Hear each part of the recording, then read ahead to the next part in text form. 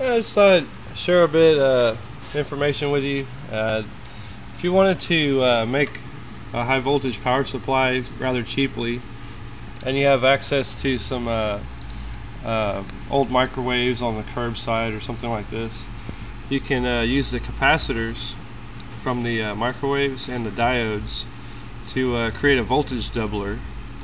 You take your transformer and you hook it up to your capacitor on this side this is uh, where you would hook up your high voltage input power. And then uh, the double voltage output power would come from these two leads here. So if you're dealing with a voltage of around uh, 10,000 volts you put in here and out will come uh, they'll come in as AC current and out here it will come out as DC at uh, double the voltage. But uh, this is something I thought might be helpful. If you hook up your uh, diodes reverse from each other, just like you see here,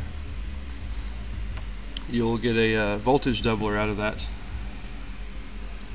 Thanks for watching.